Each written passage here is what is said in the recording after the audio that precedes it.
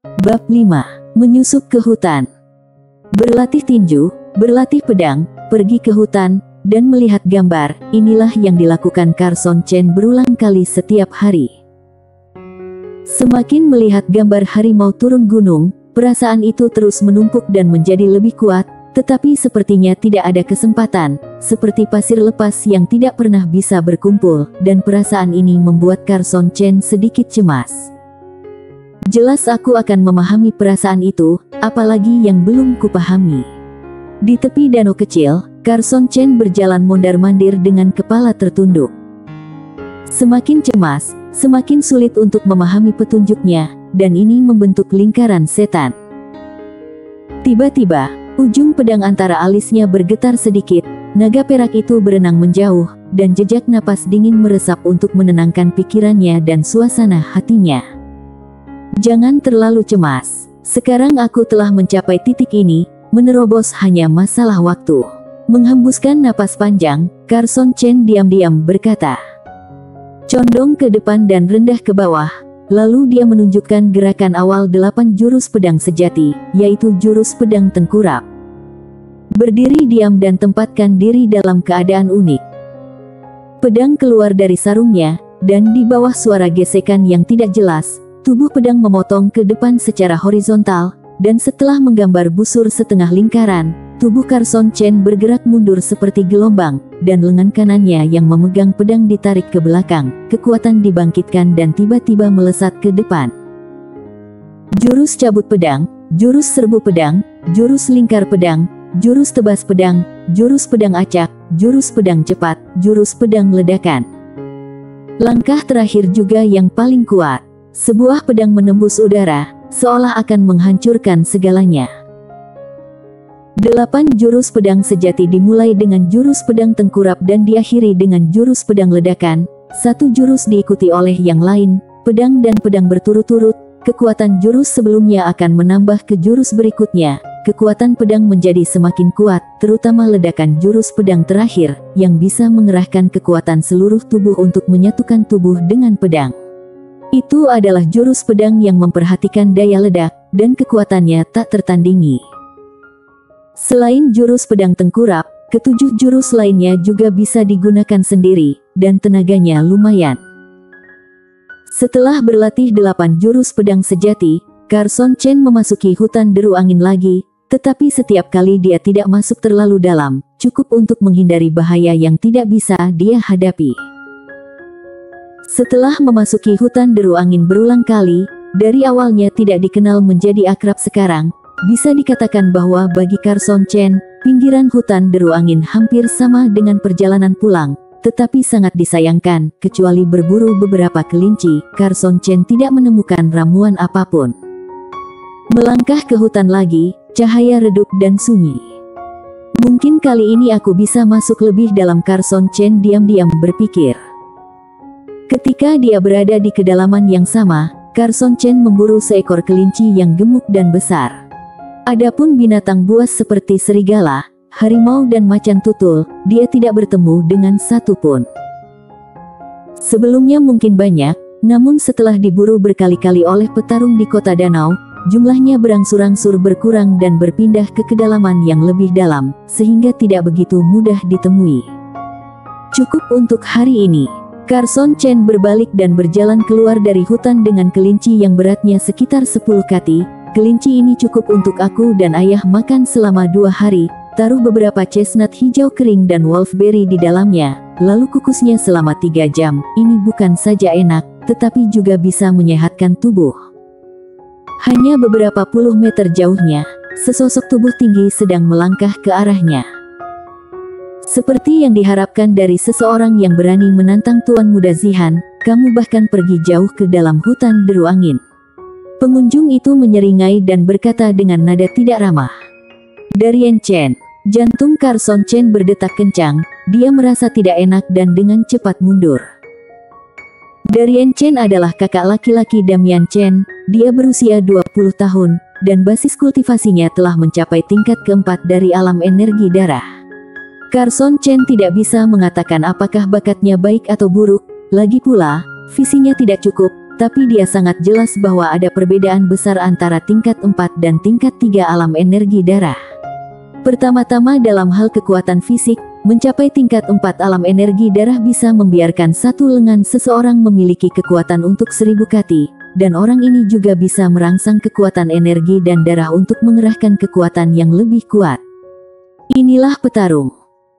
Bagi petarung alam energi darah, Kekuatan energi dan darah sangat penting, yang jelas berbeda dengan seniman bela diri. Bahkan kalau ada pedang di tangan, jika jarak antara kedua belah pihak terlalu besar, mungkin tidak ada kesempatan menghunus pedang. Reaksimu cukup cepat. Darien Chen menatap Carson Chen seolah-olah dia sedang melihat mangsa, dia melangkah lebih dekat. Dibandingkan dengan Carson Chen, dia tidak hanya memiliki basis kultivasi yang lebih tinggi dan kekuatan yang lebih kuat, dia juga telah memasuki hutan dan melawan binatang buas. Jadi dia memiliki pengalaman tempur yang lebih kaya.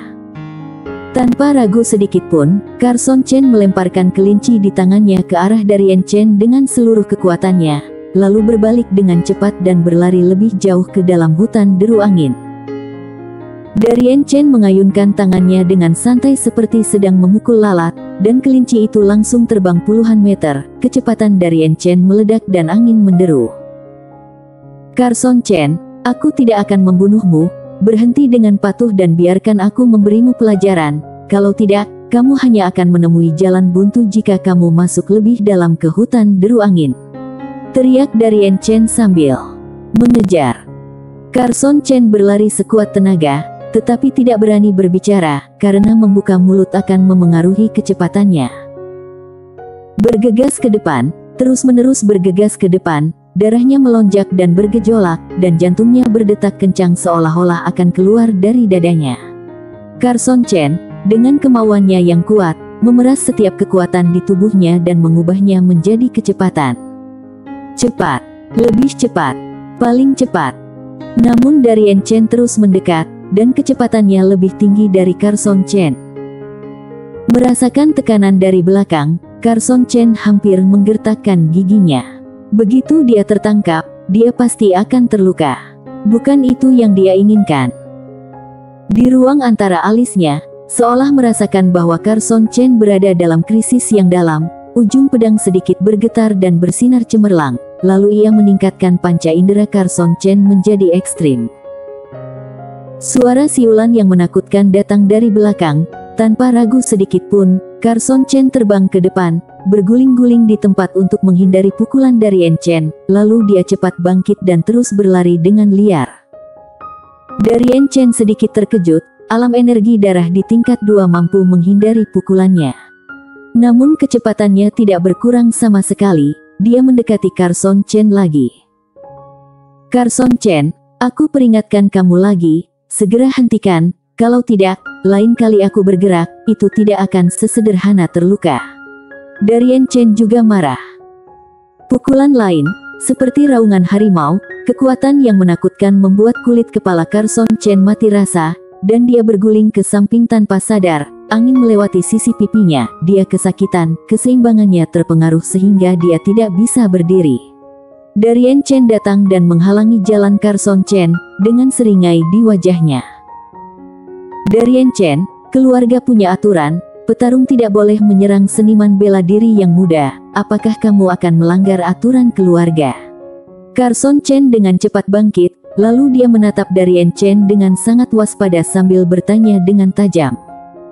Siapa yang tahu? Darien Chen berkata dengan niat membunuh di wajahnya, selain itu, kamu membuatku marah, apakah kamu pikir kamu bisa pergi dari sini hidup-hidup? Carson Chen panik, dan seluruh tubuhnya terasa dingin. Darien Chen sebenarnya ingin membunuhnya. Jangan coba-coba menunda-nunda, terima saja takdirmu. Begitu suara itu jatuh, Darien Chen bergegas maju seperti harimau menyerang yang ganas, dia meninju dengan pukulan, seolah meledakkan udara, Dampak yang mengerikan datang, membuat bulu Roma Carson Chen berdiri tegak, kalau dia dipukul, dia pasti akan mati. Aum, tiba-tiba suara kuat muncul, semacam mendominasi, lalu satu sosok tinggi dan kuat yang melompat keluar dari rerumputan besar. Garis-garis hitam dan emas, Pola hitam di dahi seperti karakter, raja, mendominasi dan menakjubkan, matanya yang dingin dan kejam seperti listrik sedang bersinar dalam kegelapan hutan, sekilas membuat Carson Chen gemetar tanpa sadar, udara dingin berhembus dari atas kepalanya langsung menembus tulang ekor, dia mati rasa di sekujur tubuh.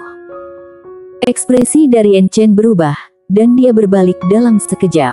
Pukulan yang semula dia lakukan pada Carson Chen menjadi lebih ganas dan keras. Diiringi dengan teriakan yang dalam, dia membanting ke arah harimau yang melompat. Tinju itu bertabrakan dengan cakar harimau, dan momentum yang menakutkan melonjak. Harimau itu jatuh ke tanah dan mundur. Darien Chen juga mundur beberapa langkah, lengannya sedikit gemetar. Carson Chen sadar, dia berlari ke samping tanpa ragu-ragu. Ini adalah satu-satunya kesempatan untuk pergi. Arah ini bukan di luar hutan, karena Carson Chen tahu bahwa biarpun harimau itu kuat, itu bukanlah monster. Dia bertanya-tanya apakah itu bisa mengalahkan Darien Chen. Kalau dikalahkan, Darien Chen akan terus mengejar dan membunuhnya, dan tempat ini cukup jauh dari luar hutan. Kalau dia ingin keluar dengan kecepatannya sendiri, itu akan memakan waktu paling lama setidaknya setengah jam. Begitu dia dikejar, dia pasti akan mati. Oke, Oke, seekor binatang buas berani merusak urusanku. Darien Chen sangat marah, matanya berkedip-kedip dengan ganas, dan wajahnya penuh keganasan. Dia menggunakan jurus harimau berjongkok, biarkan aku memukulmu sampai mati, tulangmu akan direbus menjadi lem, dagingmu akan direbus menjadi sup, dan kulitmu akan dijadikan pakaian untuk meningkatkan basis kultivasi tuan muda Zihan dan adik laki-laki aku. Harimau itu berjongkok rendah dan bercokol di tanah, matanya tajam seperti kilat dan mengunci dari Enchen. Hewan berkaki dua di depannya penuh energi dan darah. Ini pasti makanan yang sangat lezat. Intuisi memberitahunya bahwa memakan orang ini akan membawa manfaat besar. Maka kedua belah pihak dengan kasar menyerbu satu sama lain dan memulai pertempuran sengit. Setelah berlari ratusan meter jauhnya, Carson Chen mengelak dan bersembunyi di balik pohon besar untuk melihat ke sana. Dia samar-samar melihat seorang pria dan seekor harimau bertarung dengan sengit. Momentumnya mencengangkan, dan saat ini Darien Chen secara bertahap menang dan mengalahkan pihak lain. Harimau itu mengaum lagi dan lagi. Petarung di tingkat empat alam energi darah benar-benar menakutkan. Sepertinya tidak ada kesempatan untuk membunuh Darien Chen. Pikir Carson Chen diam-diam, setelah menonton beberapa saat, setelah memastikan bahwa harimau itu memang bukan lawan dari Enchen, dia berlari ke depan lagi, suara yang terdengar dari belakang menjadi semakin kecil hingga menghilang. Setelah beberapa saat, Carson Chen mendengar suara aliran yang menggelegak, lalu dia menemukan aliran jernih dengan lebar sekitar satu meter dan kedalaman setengah meter membentang ke kejauhan, Sungai ini seolah mau membelah hutan, dan ikan terlihat berenang di sungai kecil ini. Di dekat sungai, ada pondok kayu bobrok dan sederhana. Apakah ada seseorang? Carson Chen mendekat dengan hati-hati. Tidak ada seorang pun di pondok. Tempat tidur kayu bobrok, panci besi yang ditutupi lumut, dan jamur di sudut telah menunjukkan bahwa tidak ada yang tinggal di sini untuk waktu yang lama. Mungkin, aku bisa tinggal di sini sebentar. Mata Carson Chen berbinar. Setelah kejadian ini, dia tahu bahwa Zihan Chen adalah orang yang berpikiran sempit. Kalau dia muncul lagi, kemungkinan besar dari En Chen atau yang lainnya akan terus membuat masalah, itu akan sangat merugikan latihannya. Kalau terluka, bukan hanya dia tidak bisa berlatih, tetapi juga akan membawa banyak beban bagi ayahnya. Lebih baik keluar sementara dan berkonsentrasi berlatih, dan menunggu pertempuran seniman bela diri dimulainya, dia bisa kembali ke klan dan menangkan tiga besar. Itulah keputusanku. Carson Chen berpikir dengan hati-hati sejenak, aku harus kembali dulu, kalau tidak, ayah akan khawatir, mari saya gunakan lelaki tua fiktif itu sebagai alasan. Katakan saja senior itu ingin memberi aku saran berlatih, jadi ayah tidak akan khawatir. Jadi, Carson Chen dengan senang hati memutuskan tinggal di sini untuk sementara waktu. Kemudian dia berkeliling sebentar, dengan hati-hati mengamati semua jenis jejak kaki, dan akhirnya memastikan bahwa tidak ada binatang besar yang terinvestasi di sini. Bagaimana pertempuran antara Darien Chen dan harimau itu? Kalau Darien Chen terluka parah atau terlalu lelah, itu waktunya baginya untuk melawan. Bersambung. Bab 6 menerobos berturut-turut. Lari ke hutan.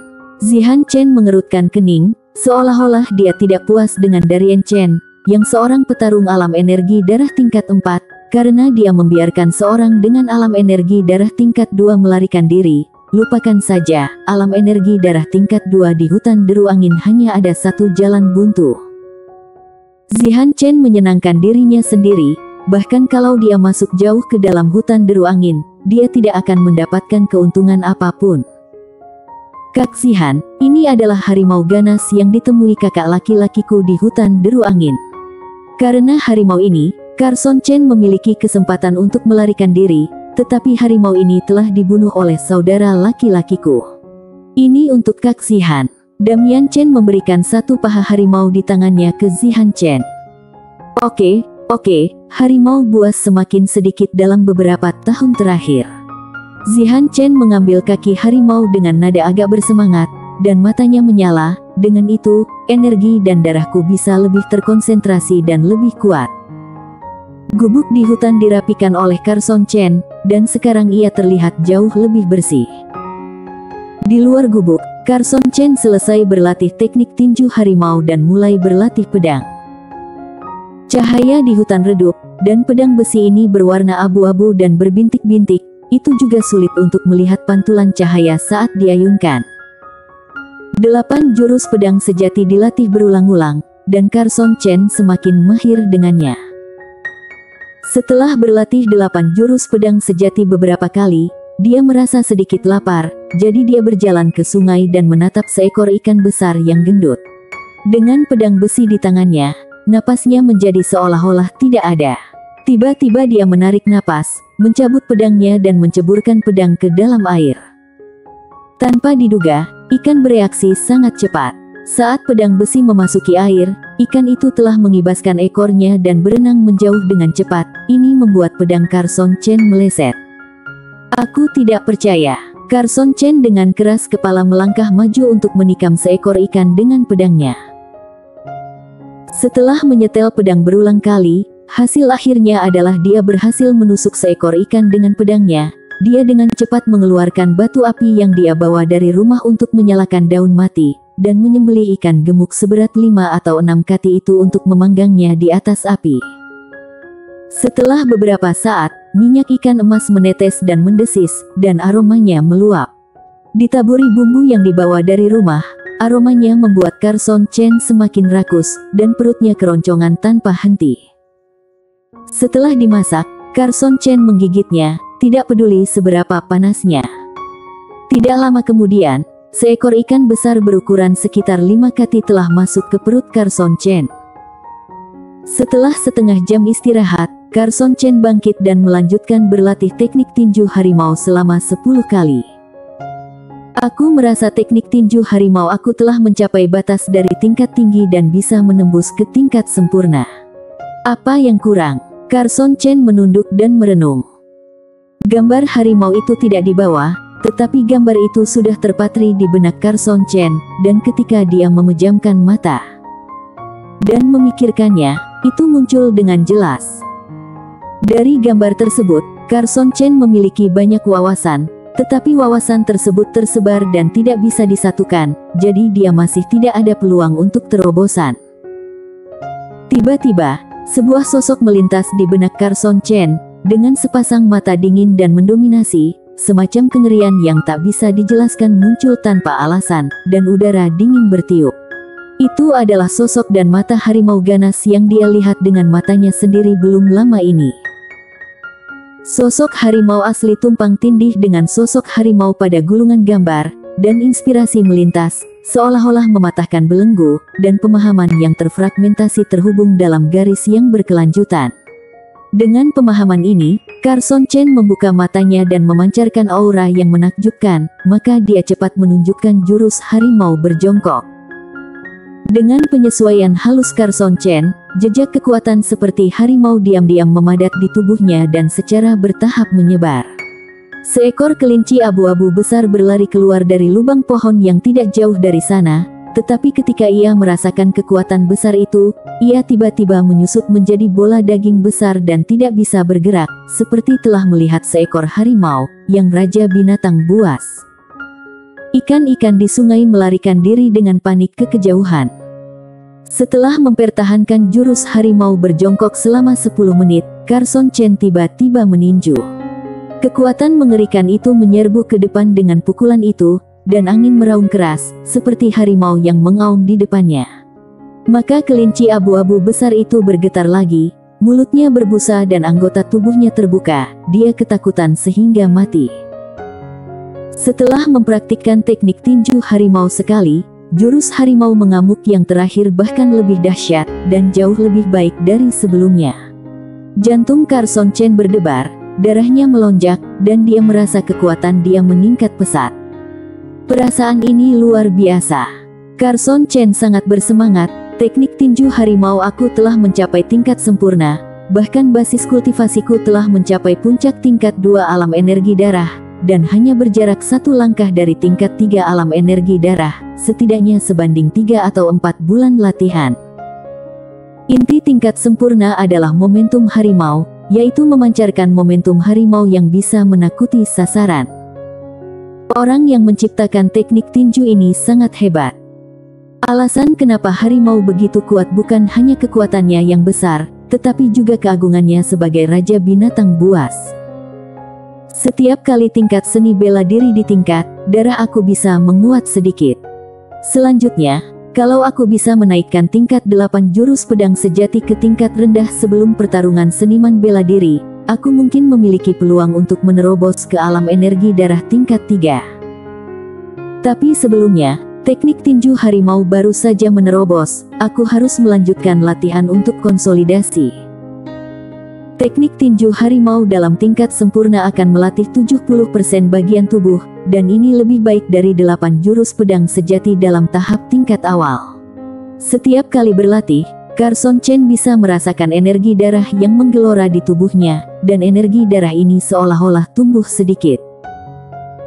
Berlatih 30 kali teknik tinju harimau berturut-turut, Carson Chen merasa anggota tubuhnya lemas dan perutnya keroncongan. Dia berjalan mendekati kelinci itu, membawa kelinci abu-abu besar itu, menyembelihnya, membersihkannya, dan memanggangnya di atas api. Berat kelinci abu-abu besar ini adalah 10 kati penuh dan cukup untuk makan dua kali.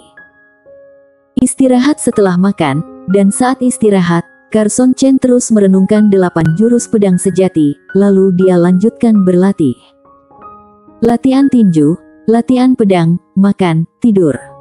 Inilah kehidupan sehari-hari Carson Chen di gubuk di hutan. Di sini sangat sepi dan bebas dari gangguan apa pun, maka Carson Chen bisa mengabdikan dirinya dengan sepenuh hati untuk berlatih, dia bahkan bisa merasakan kemajuannya setiap hari. Satu malam berlalu, ketika Carson Chen keluar dari gubuk, hal pertama yang dia lakukan adalah menggambar tanda ke-10 di batang pohon terdekat dengan pedangnya. Ini menunjukkan bahwa Carson Chen telah berada di sini selama 10 hari. Setelah mencuci muka dengan cepat, dia pergi ke sungai untuk mengincar seekor ikan, menunggu kesempatan, mengumpulkan momentum, mengerahkan kekuatan, dan akhirnya mengeluarkan pedang. Tubuh pedang menembus udara, dengan suara angin yang samar, pedangnya menerobos air dan menusuk seekor ikan besar. Praktisi seni bela diri makan banyak, terutama Carson Chen. Kecuali untuk istirahat, semua waktunya dihabiskan untuk berlatih, jadi dia perlu menghabiskan lebih banyak energi. Dia bangun di pagi hari dan pergi tidur di malam hari. Setiap hari dia harus makan enam kali, dan setiap kali makan setidaknya lima kati ikan atau daging kelinci. Ini adalah makanan yang paling sering dimakan, kadang-kadang dia akan makan daging ular. Makan puluhan kati daging setiap hari, lalu diserap tubuh melalui berlatih, memperkuat darah dan memberi makan kembali ke tubuh, kemudian menjadi semakin kuat. Namun kekuatannya masih di level 300 kati, ini kemacetan, dan hanya terobosan yang bisa membuatnya meningkat. Teknik tinju harimau telah mencapai keadaan tingkat sempurna, dan Carson Chen tidak perlu memikirkan lagi bagaimana menerobosnya, oleh karena itu dia berlatih teknik tinju harimau 10 kali sehari pada pagi dan sore hari, lalu dia menghabiskan sisa waktunya untuk 8 jurus pedang sejati, karena latihan teknik tinju harimau pada beberapa bagian tubuh berbeda dengan delapan jurus pedang sejati, dan kombinasi keduanya bisa melatih seluruh bagian tubuh Carson Chen, dan efeknya akan menjadi lebih baik. Carson Chen juga menemukan bahwa menusuk ikan dengan pedang bermanfaat untuk berlatih delapan jurus pedang sejati. Ayah mengatakan bahwa ilmu pedang itu cepat, tepat dan mantap, dan ketiganya sangat diperlukan. Kalau hanya cepat, Percuma kalau aku tidak bisa menusuk target. Sebelumnya, aku tidak bisa menusuk ikan dengan satu pukulan, karena aku tidak cukup tepat dan mantap. Setelah berlatih 10 hari ini, akurasiku meningkat pesat, tetapi masih ada ruang untuk peningkatan lebih lanjut. Latihan dengan cepat, tepat dan mantap. Selain menusuk ikan, mungkin aku bisa mencoba metode lain. Setelah berpikir sejenak, Carson Chen mengambil dahan lurus setebal ibu jari dan menancapkannya di tanah. Dia berdiri di depan dahan, menatap dahan, berkonsentrasi untuk mendapatkan momentum. Angkat pedang dan potongnya. Pedang jatuh dari sisi dahan dan tidak mengenai dahan. Begitu jauh, Carson Chen tercengang, awalnya dia berpikir bahwa pedangnya cukup tepat dan mantap. Coba lagi. Berkonsentrasi untuk mendapatkan momentum, dia mengangkat pedangnya dan menyerang lagi. Dia berlatih berturut-turut. Hari ke-11, hari ke-12, hari ke-13, hari ke-14, hari ke-15. Setelah berlatih delapan jurus pedang sejati 20 kali lagi, Carson Chen mengangkat pedangnya dan berjalan ke dahan lurus setebal sumpit, Lalu dia mengangkat pedangnya dan memotongnya, kali ini dia berhasil membelah dahan itu dengan satu pukulan. Oke, akurasinya benar-benar meningkat pesat. Carson Chen tersenyum. Demi terus tingkatkan, Carson Chen mengganti cabang sumpit yang tebal dengan cabang yang lebih tipis. Itu adalah hari lain, dan Carson Chen menghunus pedangnya untuk mengukir tanda lain di batang pohon. Masih ada empat hari sebelum pertempuran seniman bela diri. Melihat 20 jejak di pohon, Carson Chen berkata pada dirinya sendiri. Kemudian dia berjalan ke tepi sungai, menatap seekor ikan besar, lalu dia menusuknya dengan pedang. Pedang itu sangat cepat, ujung pedang menembus air dan terangkat, maka seekor ikan besar melompat keluar. Setelah makan ikan, Carson Chen menghunus pedangnya untuk terus berlatih delapan jurus pedang sejati. Satu kali, dua kali, tiga kali, sembilan kali, jurus terakhir, yaitu jurus pedang ledakan. Kekuatannya menembus tubuh pedang, dan itu meledak seketika. Tubuh pedang itu bergesekan dengan udara dengan keras, lalu menyinari cahaya yang menyilaukan dan melesat melintasi kegelapan di hutan. Pedang memancarkan cahaya yang bisa memengaruhi penglihatan. Itu adalah tingkat rendah. Carson Chen terkejut sesaat, Lalu dia sangat gembira. Dia pernah menghabiskan waktu lima hari untuk berlatih delapan jurus pedang sejati mencapai tingkat awal. Maka dia pikir kali ini akan memakan waktu setidaknya sebulan untuk berlatih delapan jurus pedang sejati ke tingkat rendah. Dia tidak menyangka tanpa gangguan dari luar, ditambah dengan latihan menusuk ikan dan membelah dahan, kali ini dia hanya menghabiskan waktu 15 hari untuk mencapai status tingkat rendah. Oke, sepertinya metode latihanku benar-benar tepat. Carson Chen semakin senang. Delapan jurus pedang sejati diturunkan oleh ujung pedang misterius itu, tetapi metode menusuk ikan dan membelah dahan dipikirkan sendiri. Metode seperti itu mungkin sudah ada, tapi tidak ada yang mengajarinya, maka itu sepenuhnya hasil usahanya sendiri. Melalui upaya dia sendiri untuk tumbuh dari awal dan membuat kemajuan, apa yang bisa lebih mengasyikkan daripada rasa pencapaian ini? Pada saat ini, Carson Chen merasakan aliran darah di tubuhnya mengalir lebih cepat seperti air sungai besar dan sungai panjang yang hanyut. Ke mana pun itu lewat, tubuhnya mengalami perubahan. Energi puluhan kati dari daging hewan yang dia makan setiap hari mengintai di tubuhnya. Sekarang seiring energi darah yang bergejolak terus-menerus, energi itu ditarik keluar dan menyatu ke anggota tubuh, tulang, otot, sehingga urat, tulang dan kulit Carson Chen secara bertahap diperkuat. Perasaan ini, basis kultivasiku akan segera menerobos. Dia segera menunjukkan jurus pedang tengkurap, dan sekali lagi mempraktikkan delapan jurus pedang sejati. Gerakan ini sebagai panduan untuk menyempurnakan kekuatan yang muncul dari tubuhnya dan mempercepat terobosan. Setelah beberapa kali mempraktikkan delapan jurus pedang sejati, kekuatan yang lebih kuat tumbuh dari kedalaman tubuhnya, lalu meresap ke seluruh tubuh, dan otot-ototnya menegang. Ini membuat Carson Chen merasa lebih kuat dan galak.